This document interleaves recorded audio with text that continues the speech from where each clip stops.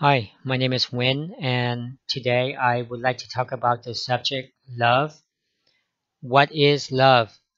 Uh, and there are really um, no definite answer. There's a lot of different answers, but to me, if we're able to answer these four simple questions, then that might give us an idea of what love is. The first question is Am I willing to give up the one thing that's most valuable to me and then giving it to the other person? So there's going to be many examples, uh, but I'm going to give one example uh, in my life and then I'll also provide like other examples throughout this uh, video on people that I've uh, met throughout my life. So in regards to this question, when I first met my uh, wife, uh, I just got out of school, so I was I was beginning to work, and in my bank bank account at that time, I only had thirty five thousand, and I wanted to be with her, and um, you know I loved her a, a lot, so uh, I uh, wanted to propose, so I bought her a ring, and uh, I spent thirty-three thousand on that ring. When I had only thirty-five thousand in my bank account.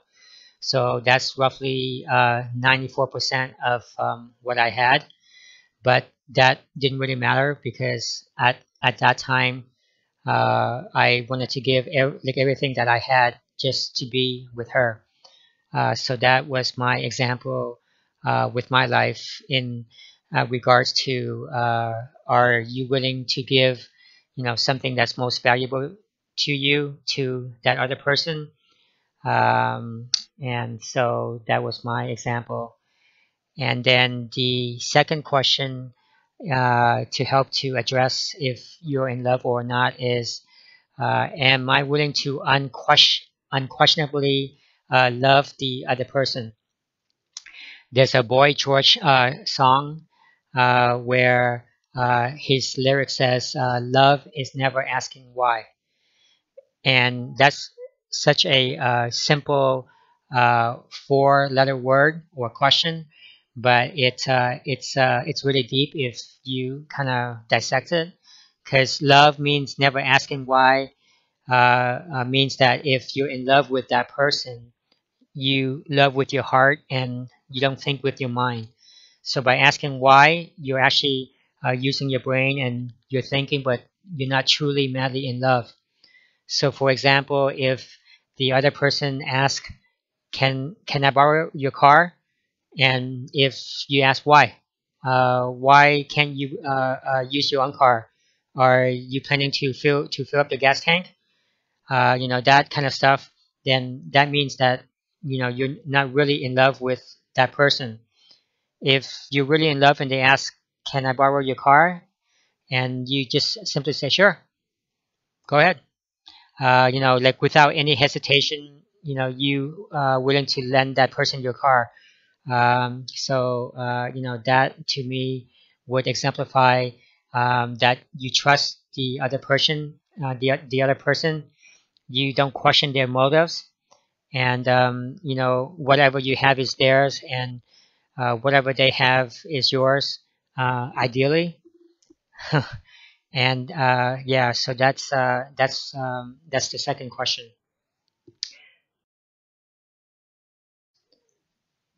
the uh, third question is am I willing to make sacrifices for the other person there's an old saying that there is no love without sacrifice and there is no sacrifice without love. And I actually have two examples uh, to exemplify this. The first example is when I was younger, I met this girl. She's really smart and she had a 4.0 GPA in high school. She was valedictorian uh, from high school and she uh, was accepted into Brown University, which is an Ivy League school for uh, med school but she actually turned down that program and decided to become a pharmacist instead because the uh, program to become a pharmacist is shorter than that of uh, being, being a doctor. And she made that sacrifice so that way she can get out of school sooner and to be able to support her father financially. And when when I first met her, she was living in an an apartment, and now uh, she paid off the first house, and they have a second house. So uh, it's it's not where you start, but it's where you end up that really matters. And I thought that it was really noble of her to give up her uh, dreams of becoming a doctor, so that way she can get out of school faster to help her parents. The uh, second example that I have is there was a couple that went on on their honeymoon. And the uh, uh, groom decided to go scuba diving with uh, um, his friends. And when they went under uh, for some reason his oxygen tank uh, malfunctioned. So he wasn't getting any air and by the time they got him up to the surface um, um, uh, his uh, his brain didn't have oxygen for uh, more than four minutes, so it causes uh, some brain damage. And uh, what ended up was uh, he ended up being paralyzed from the waist down on his on his honeymoon. And instead of his um, fiance or wife leaving him, she decided she decided to stay with him and marry him and uh, you know, and they've been together ever since. So I thought that uh, that was also noble of her to not leave him, and she decided to stay with him, um, even though now he's uh, he's paralyzed. So that um, to me is another example of uh, true love, where one person is willing to love the other person regardless of you know whatever happens. So uh, that uh, that uh, to me was uh, two examples where uh, people are willing to make sacrifices uh, for the other person and also to be with the other person. And last but not least, the fourth question is, am I willing to die for that person? Um, this is the ultimate sacrifice for love. So, for example, a father's love for their kids. Um, you know, uh, being a father, I, w- without any hesitation, uh, willing to give my life to um, save my kids. So there are cases where people are willing to use their body as as a human shield, or they're willing to push someone out out of the way so that way they'll get hit by a car, like instead of uh, of the other person. Or there are cases where um, one person is willing to donate their organs to another person so that way the other person can can live like even though if it means that they'll have to die for example like donate donating uh, their heart uh, so uh, those are examples of um, making the ultimate sacrifice so uh, with these four simple questions am I willing to give the one thing that's most valuable to me to the other person? Am I willing to unquestionably love the other person? Am I willing to make sacrifices for that person? And am I willing to die for that person? And if you answer yes to all four of them, then that means that you're in love. Uh, you know, that's my definition. And if uh, you answer maybe one out of out of those four questions, then maybe you're partly in love. But um, to me, uh, that is the definition. The definition of love is saying yes to all four. So I find that there are three types of scenario scenarios of love. Uh, the first one is um, a person never found love, and basically what happens is they just marry the other person because uh, it's uh, mutually beneficial. Uh, so they just have a companion that's suitable uh, to their needs, but neither one of them is really in love. Um, and uh, that one is kind of sad, but it but it does happen. Uh, people marry due to pre-arranged marriage, or a doctor trying to find like an another doctor to marry or a pharmacist marrying a pharmacist, a lawyer mar- like marrying a lawyer, like someone that's in the same league. Um, they they they marry um, because it's mutually beneficial, uh, and but it's not because they really love that person, but socially it's acceptable, and uh, so that's why they chose that person as being a companion. But uh, the love is not really there. Uh, so that that is the first um, scenario. The second scenario is one person uh, really loves the other person, but the other person doesn't feel the same way.